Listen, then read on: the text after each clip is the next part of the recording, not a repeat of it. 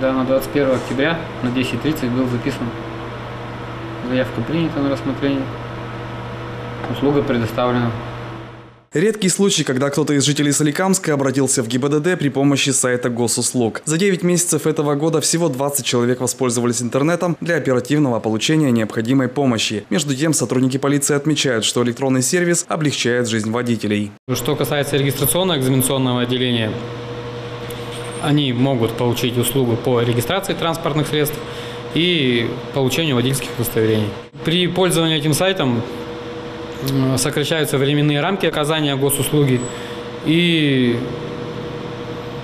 сокращение очередей. А ждать своей очереди порой приходится далеко не 5 и не 10 минут. Водитель Татьяна Герасимова, например, уже полтора часа ждет справку о снятии автомобиля с учета. Говорит, что обязательно записалась бы при помощи государственного портала. Но, во-первых, в списке сервиса ее услуга не значится, а во-вторых, регистрация на сайте госуслуг только кажется легкой.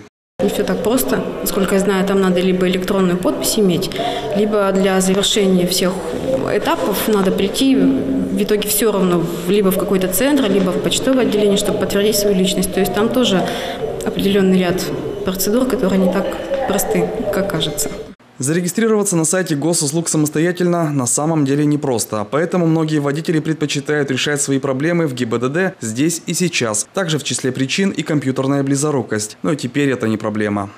По-прежнему немногие соликамцы знают, что получить помощь при регистрации можно в многофункциональном центре Соликамска. От вас потребуется минимальный набор документов и всего несколько минут терпения. Процедура быстрая и комфортная, еще раз повторюсь. Это занимает минут 5-10. То есть э, данные заносятся в специализированную систему АИС-МФЦ. Тут же э, система выдает логин и пароль. И активация происходит автоматически. И заявитель э, на приеме считается зарегистрированным в системе. А, когда он придет домой, у него есть возможность поменять и логин, и пароль уже на ну, более удобный, комфортный для него.